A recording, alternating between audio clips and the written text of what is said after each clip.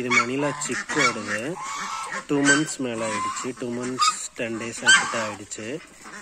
இது ஒரு எட்டு பேராட் இருக்கு.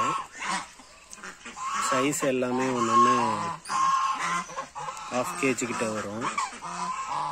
வேணுன்றவங்க காண்டாக்ட் பண்ணுங்கள்